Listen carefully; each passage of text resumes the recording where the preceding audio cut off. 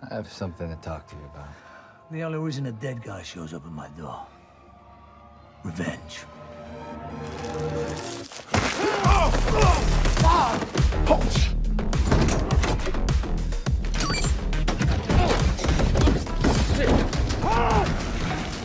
Should have stayed dead. I can get in, I can get in. I don't allow repeating myself. You ruined my snacks. Relax. I don't want to fight you. And this is gonna end quick. Let's dig some graves.